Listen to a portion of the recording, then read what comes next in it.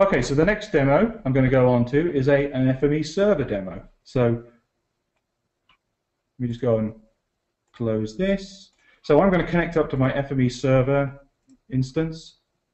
Uh, it's sort of there, that's fine.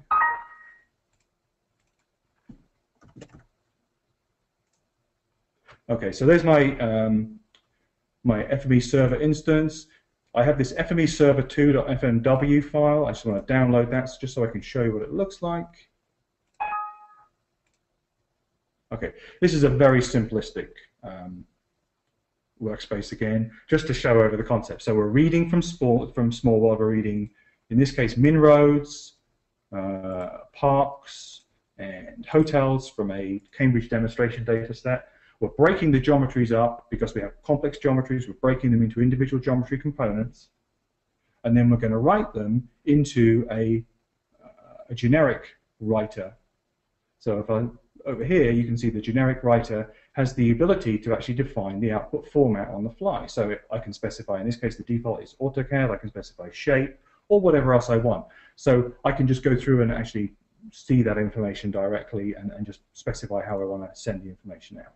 Uh, I can also specify the input min x, min y, max x, max y, coordinates, coordinates extents that I want to read the data from. So I'm just going to go into my FME server environment and I'll show you the there's my FME server um, 2 uh, workspace file. If I log in on the user side, go into the data download, SBS FME Server 2. I'm just going to click and run that one, just let it run. So this is this is going to put no spatial bounds on. It'll go off, submit the job, and it will read it, and it will store it as an AutoCAD file. So if I open that up,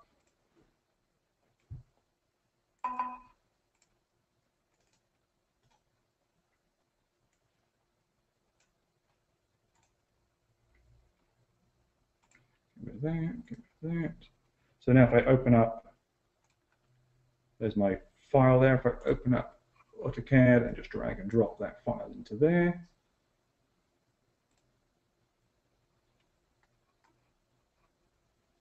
Where's it gone? Okay, so obviously decided it was going to do.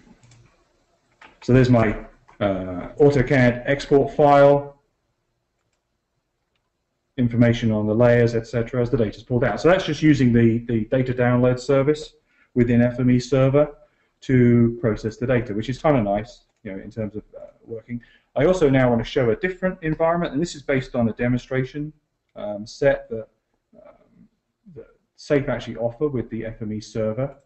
And in this case, I have a little Google demo, obligatory Google demo. So this is my predefined Google boundary, which is looking at the Cambridge database in the UK. I have the ability to zoom in, pan around.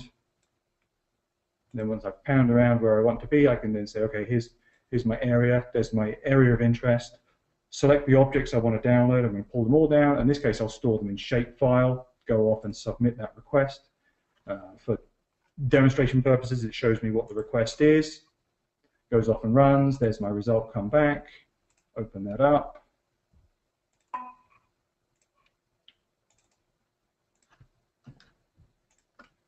And I will save that into, excuse me, I'll save that into a directory.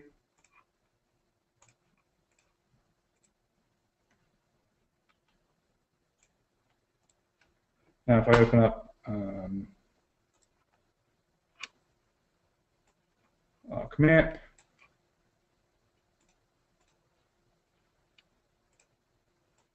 And I just select the shape files.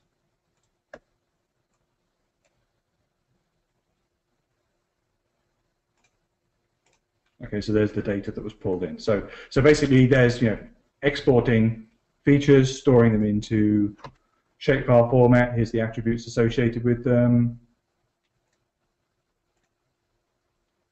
So it's all there.